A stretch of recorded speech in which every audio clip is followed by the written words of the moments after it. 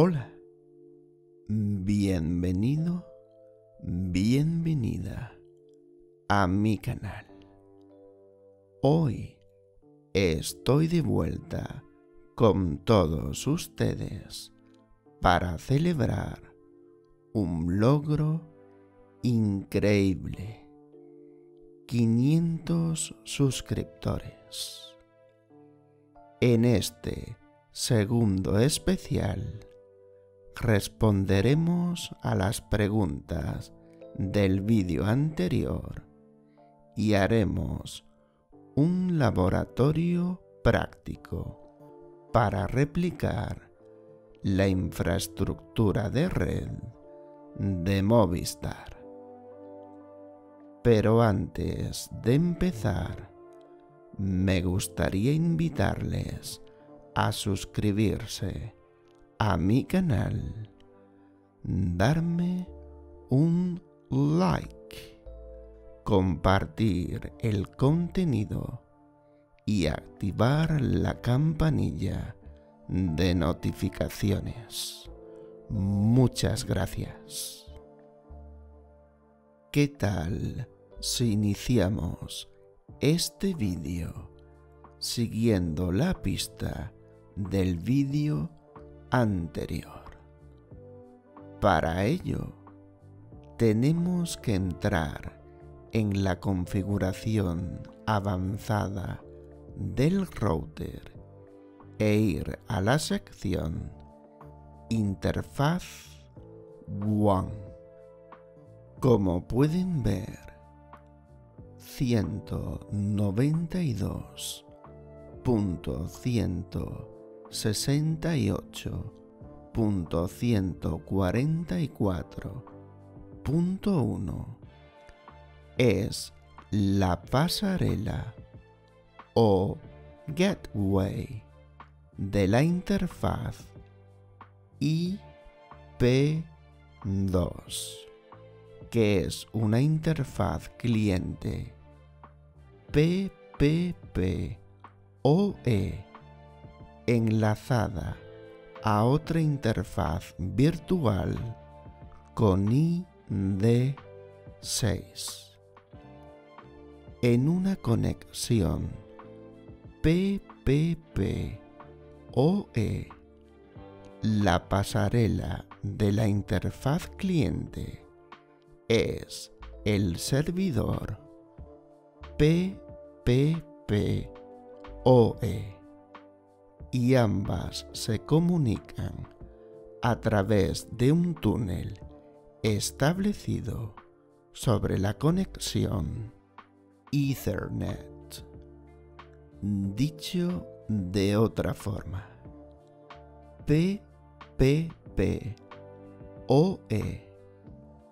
requiere conectividad de capa 2, enlace de datos, lo cual significa que su router y el de la central tienen que estar directamente conectados.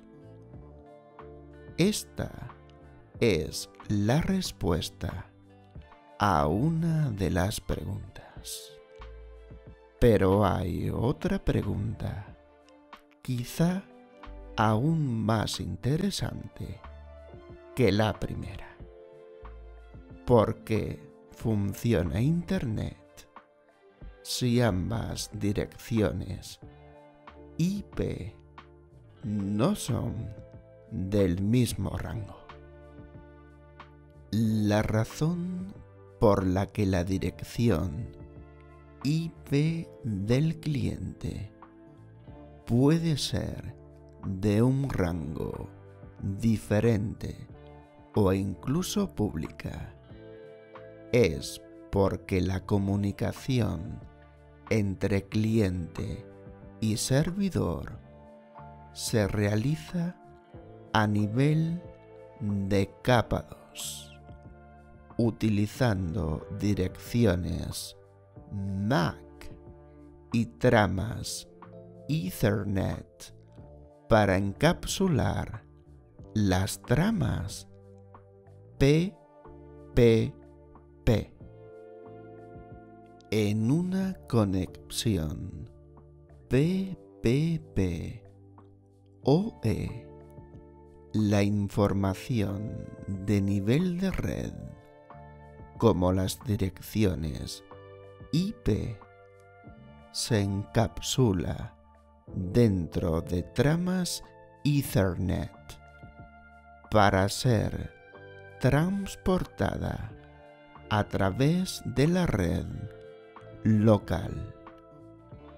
Esto significa que aunque a nivel de red capa 3 las direcciones IP pueden ser de diferentes rangos a nivel de enlace de datos. Capa 2. La comunicación se realiza mediante direcciones MAC y tramas Ethernet.